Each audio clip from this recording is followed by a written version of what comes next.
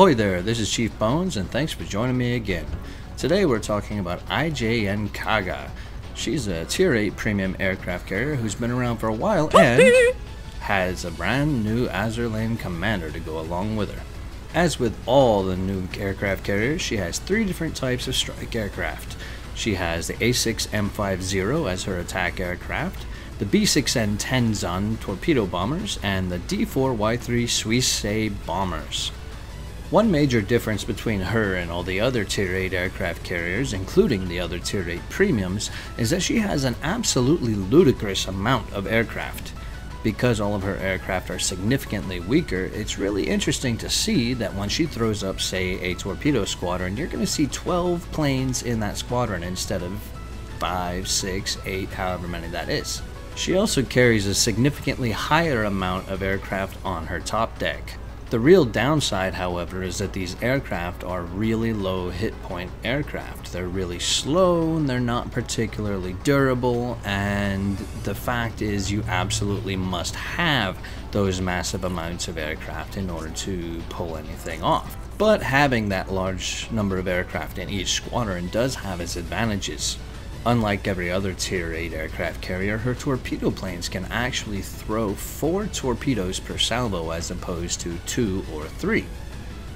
Her bombers aren't particularly great, they're not particularly fast, but they have a decent fire chance and they do okay damage.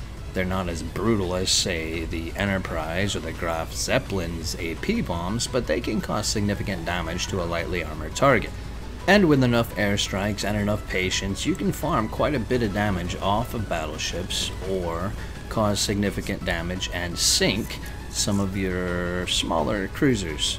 But because of the absolute mediocrity of her bombers and her rockets in particular, don't expect to be doing massive amounts of burst damage to any particular ship this ship's strongest squadron is going to be its torpedo squadrons. This is why I always start out my matches using the torpedo squadrons.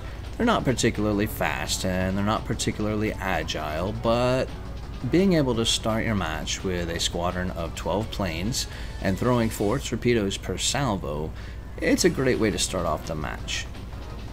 One other positive is that their torpedo planes have really small detectability, so you can get within just a couple of kilometers before anybody actually sees your torpedo planes. That gives you an advantage where you don't have to worry quite so much about AA opening up and ripping you to shreds before you get to your intended target, or while you're spotting in advance of the rest of your team. And let's be absolutely clear if you're a carrier player, one of your biggest responsibilities at this point in the time with this meta is to be a primary spotter for your team. Destroyers have been somewhat marginalized in that aspect. Things have gotten somewhat better with the adjustments to the overall spotting range that uh, Wargaming has done since the 0.8.0 update. But, I mean, be real, carriers are still primary spotters. I mean, they always have been, but for some reason, for some reason, they seem to be a little bit better at it now than they used to, despite having less planes available. That said, this is not a video about the uh, aircraft carrier rework or the point eight point whatever updates. Um, this is specifically about Kaga since the update. So with this video, uh, I'd like to point out that while this is one of my quote-unquote maiden voyages videos, this is not even close to my first match in Kaga. I've been playing Kaga since she first came out uh, two years ago. And back then, back when she first came out, her, her primary gimmick, I guess it was, or her, her flavor that made her different from the other premium aircraft carriers of that time was as a, at that time, tier 7 carrier. She had these staggered torpedo drops. That is to say, rather than having several torpedoes in a single row, she had two rows, a row of three and a row of two. Now the whole idea of that was to give her slightly different angles on her drops and make it a little more difficult for other uh, ships to avoid her torpedoes. She was not particularly strong at the time, but she was fun and somewhat unique. Now she's a little more average. She still plays differently from the other carriers, and a lot of that has to do with the amount of available aircraft. But there's not a whole lot really that separates her. Um, her effectiveness is still pretty decent. She doesn't have the OP planes of, say, the Saipan, or the OP secondaries of the Graf Zeppelin, or the insane rockets of Enterprise. But she's still quite a solid carrier, and the only thing I probably personally would do to improve upon Kaga and make her a little bit more competitive would be to increase her AA suite just a little bit. You look at uh, carriers like Lexington or Implacable at tier 8 and you see carriers whose built-in anti-air defenses are just overwhelming and can eat an entire squadron of enemy planes alive. And Kaga, if you were to take her squadrons against a Lexington or an Implacable or even the Enterprise, which has significantly less AA than Implacable or Lexington, you're going to probably lose your entire squadron against these guys because as was said before their their overall HP is somewhat lacking and their speed is not particularly great. In contrast to that, if you were to take an Enterprise or a Graf Zeppelin or an Implacable and have those planes attack a Kaga, chances are you're going to get a couple of hits. Possibly even a couple of uh, attack runs as opposed to the initial attack run and then the remainder of your squadron dying, as is usually the case with Kaga. But if that sounds like I'm complaining or that I think uh, there's something wrong with Kaga, don't don't take it that way. That's absolutely not the truth. Kaga is in fact one of my favorite carriers in the current carrier meta. And I think a lot of that has to do with the fact that I like having tons of planes on deck. Even if I know that these planes are not particularly powerful, and I'm probably going to lose most of, if not all of my squadron every time I launch it, the fact is I've always got planes to spare.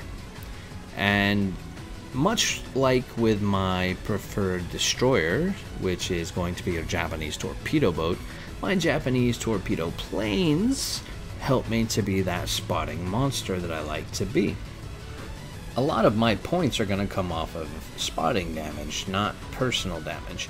Though this match that you're seeing right here is a pretty solid match, not not just in spotting damage, but in overall damage done. That said, I have cut the video short. Um, after a bit, it gets kind of redundant, and you'll get to see the end result, but you're not going to have to sit through the whole match if you don't want to.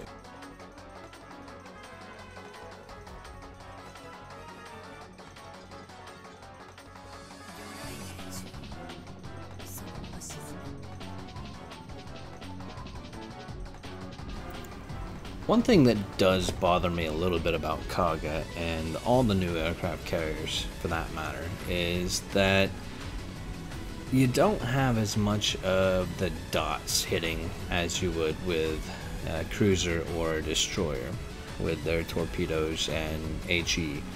Um, fire starting and flooding seems to be an afterthought, and while they made it a point to nerf Alpha Strike damage a bit, particularly because of how carriers were absolutely manhandling destroyers. Um, it just feels like, even though you can have really good matches with a carrier uh, and with this carrier, it, you're not getting a lot of that damage over time that you would expect to get with these particular types of weaponry. You have fire bombs, you expect to start fires. You have torpedoes, you expect to start floods. At this point in the match, I've made 20 torpedo hits and gotten only 3 floods. That's just over 1 in 7. Just under 1 in 7. Something like that. I don't know. Math is hard. I can't math. But I've landed, you know, several bombs and I've gotten several less fires than one might expect that I would. And it's it's kind of saddening because a lot of my damage should be coming from damage over time. That is what bombs and torpedoes have always been all about. But let's not just talk about bombs and torpedoes. Let's also talk about the attack aircraft. Now, the Kaga's squadrons as a whole are not as fast as, say, Enterprise, right? And although their Zeros are not as slow as Graf Zeppelin's attack planes, they're still not particularly quick. And on the topic of the attack planes, I don't much care for the solid circle reticle that the Kaga's attack planes have. It makes it very difficult to have a solid strike, and you have to really get your aim down good and fast before you can let your rockets off, particularly on a destroyer. Now, the torpedo planes aim pretty quick and they close pretty narrow once they start closing in pretty quick and they go flat trajectory wise and the bombers have that nice kind of thin narrow drop. So you can come up onto a ship and if you're going straight from their prow or straight from their stern you can land basically your entire drop from stem to stern but significantly less so from the sides. The rockets the rockets are just round and weird like that but it's okay. I mean it's not terrible. Okay, so let's just talk about the Kaga real quick, my, my overall impressions. I think she's fun. She is quite capable of dealing decent damage, even in a bottom tier match. And let's be honest, tier 8 matchmaking is not kind to carriers anymore. But uh, yeah, I like her.